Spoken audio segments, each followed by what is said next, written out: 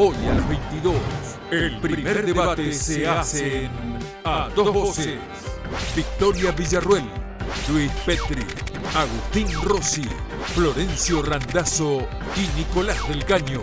Los candidatos a vicepresidente y un debate histórico en el gran clásico de la política argentina.